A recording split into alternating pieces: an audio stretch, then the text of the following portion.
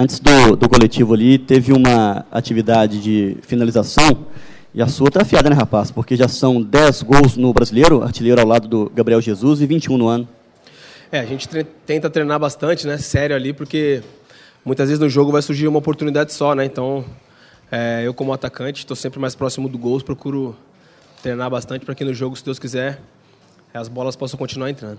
Para esse tempo, né, que o Atlético vem com essa abertura, quase que uma mini temporada dentro da competição, é, fisicamente e essa importância, né, às vezes de um fundamento que não há tempo de trabalhar. Como é que vocês estão trabalhando isso e o sentimento, né, do atleta que vem num ritmo muito pesado de quarta e domingo? É, para nós é bom. Acho que ficar um tempo aí descansando, podendo treinar é, algum lado mais específico é muito bom. A gente vem numa maratona de quarta e domingo muito intensa, então agora pegar essa semana para treinar bem, cada um faz aquilo que tem que fazer. Né? Os jogadores que estão um pouco mais sobrecarregados descansar para quando voltar, voltar com tudo. Roberto, é, como que você tem visto particularmente aí esse momento pessoal que você está vivendo de, de, artilheiro do Galo na, na temporada? Você está aí a dois gols de superar a marca do Lucas Prato do ano passado, ainda no mês de, de setembro.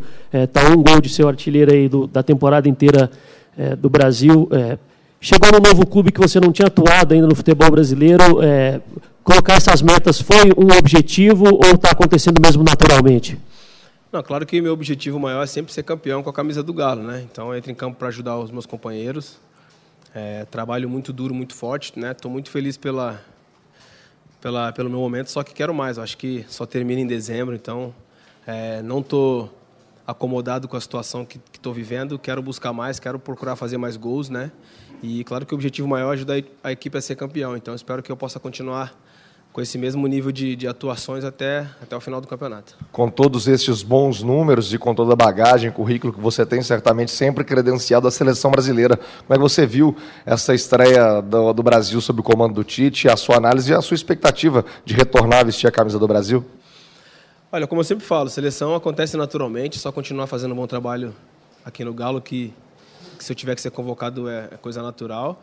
Acho que sobre a seleção, fiquei feliz com a vitória né, do Brasil. Não é, não é fácil ganhar dos equatorianos aí, tirar um pouco de sarro do Casares e do Erasa, que são nossos amigos aqui. Mas enfim, acho que vitória boa, o Tite estreando com o pé direito, com vitória, né, era tudo que, que a gente queria.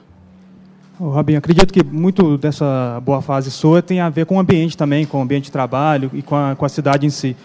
Como é que é a sua relação aqui com, com Belo Horizonte? O que, que você pensava da cidade que hoje você está vivendo na cidade, ela, ela te passa? De, de que forma é, o ambiente te, te auxilia assim, no seu bom desempenho? É uma cidade muito bonita, né? muito, muito tranquila, uma cidade acolhedora. Né? Acho que é, sou sempre muito bem tratado por todos aqui, desde que cheguei aqui no Galo. Mesmo meu primeiro dia aqui, sempre fui muito bem tratado. Isso facilita muito é, o entrosamento. E, enfim, acho que e, e o grupo também, né? um grupo que me recebeu de braços abertos todos me tratam super bem e eu, né, sempre com a mesma alegria de fazer aquilo que eu mais gosto, que é jogar futebol. Queria que você falasse seu momento físico. Você vem de 19 jogos seguidos, jogando em alto nível, sendo decisivo nas partidas. Acho que há um bom tempo você não emplacava 20 jogos seguidos em uma temporada. Como é que você avalia? Como é está sendo dosar essa joga partida? É, é sacado? Ficou na reserva no último jogo, mas entrou? A gente sempre procura entrar é, conversar muito com a comissão técnica para saber alguns jogos que, que dá para ficar de fora ou não, né? Claro que é difícil você ficar de fora, porque a gente quer jogar todos os jogos. A gente sabe da importância de ganhar sempre quando se veste a camisa do Atlético Mineiro. Mas com essa maratona de jogos não dá muito para reclamar, né? É, é assim para todo mundo. Tem que ter um elenco forte, tem que ter um elenco é, com muitos jogadores com qualidade, porque vai ficar de fora às vezes por lesão ou por cartão. Mas graças a Deus estou conseguindo bem, estou bem fisicamente. Agora tem essa parada que dá para descansar e, e, me cuidar bastante, né? Procurar fazer alguns trabalhos específicos que também é, possa prevenir as lesões, que é muito importante. E depois espero que eu possa continuar jogando e o objetivo é jogar todos os jogos na temporada.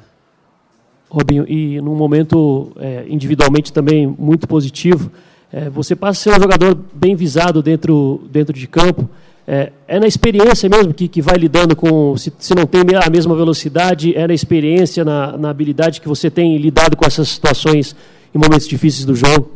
Sem dúvida, eu acho que é, tem que ir pelos atalhos ali né, na frente.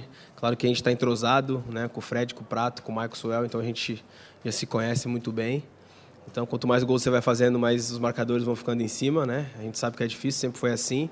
Não tem facilidade em jogo nenhum. Então, tem que se preparar bem, procurar se cuidar e o caminho a gente, a gente já sabe. É difícil, é duro, né? Não tem jogo fácil, mas a gente também está muito preparado e muito motivado. Robinho, o objetivo maior é ser campeão. Agora, o que, que significaria ser artilheiro do Brasil na temporada, artilheiro do Brasileirão? Olha, algo muito importante na carreira de qualquer jogador, né? Eu entro em campo pensando sempre no coletivo, né? Quando o time está bem e joga bem, a facilidade de fazer gol é maior. Então, é claro que o meu principal objetivo é, é levantar troféus com a, com a camisa do Galo. Consequentemente, se eu puder ser artilheiro do campeonato, é óbvio que eu vou ficar muito feliz. É, eu queria te perguntar sobre o seu amigo Diego, que chegou bem ao futebol brasileiro, fazendo gols. O time dele está numa fase muito boa, futuramente vocês vão se enfrentar. Como é que você já projeta esse confronto? Até porque Flamengo e Atlético são dois candidatos fortes ao título brasileiro. Não, o Flamengo foi muito bem, né? O Diego, um amigo que eu tenho, um irmão para a vida toda, enfim, torço pelo sucesso dele. Né? Muito feliz por ele ter voltado jogando do nível que eu estou acostumado a ver ele jogar, né? Nível muito alto, já já estou acostumado, já sabia. Enfim, espero que ele possa continuar jogando bem, menos contra o Galo. Da última vez que a gente se enfrentou, se eu não me engano, foi Real Madrid e Werder Bremer. Ele perdeu. espero que continue assim. Né? Espero que eu possa dar uma caneta nele e que eu possa fazer gol. Robinho, é, você já falou de, da artilharia, de fazer gols, mas você é o atacante que tem a melhor média de, de gols por finalização no campeonato. Qual que é o segredo? É o posicionamento? É pegar bem na bola? A partir do momento que a bola entra uma vez, é, fica mais fácil de fazer os gols?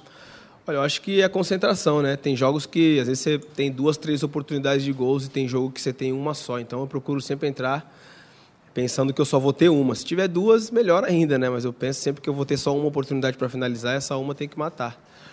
É, futebol, quando você faz um gol, o jogo muda. Então procuro entrar bem concentrado para finalizar bem.